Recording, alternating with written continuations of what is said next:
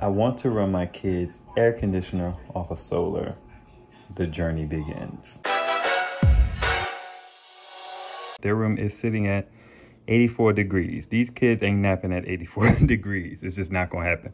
I can see we got fans here, fan here, fan here.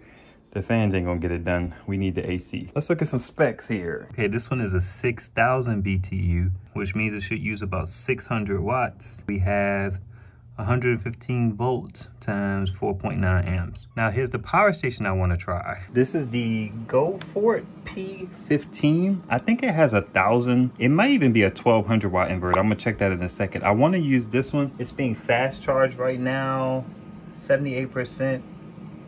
555 watts coming in from the AC 200P. This is the window that it will go in. All right, there we go.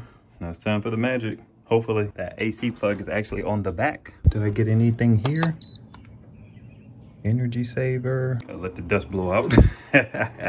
oh, it turned on instantly. Let's see what the screen is doing. I can't believe that thing, thing only hit 200 some odd watts on its air conditioner, but it is on energy saver. Um, let's change it to, actually let's leave it on power saver. The temperature is set to 69. We'll monitor it for a few seconds. Still holding strong at 228, 247. I've been recording for about a minute and 40.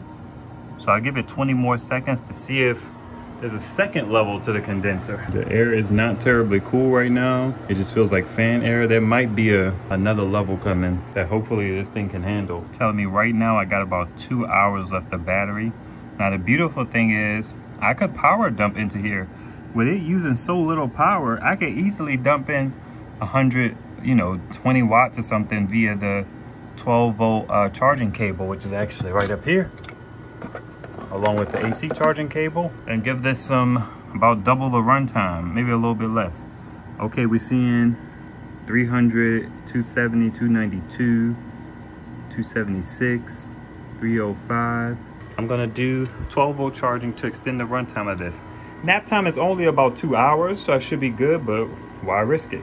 Give it a little extra cushion. Jeez, I can't do that with one hand. There we go. Holding steady at a hundo. Look at this. Oh, look at the power usage, 360. I wonder if that's because I introduced a new voltage. So let's turn that off and see what we do here. Because this is a 6,000 BTU air conditioner, right?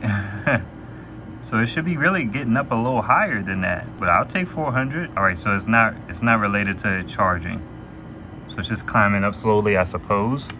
Let's go ahead and turn this back on. So the screen over here said that it will run about 83 minutes at its current low, which is about 400 watts. I don't need this air conditioner to run the whole time. I just needed to cool the room off and make the kids like relaxation a little bit more enjoyable.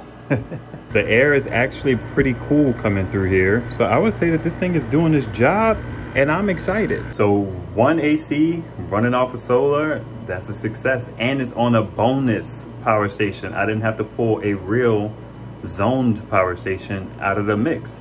Be good money around here. Yeah, that air is cool, buddy. it's cool, Jack.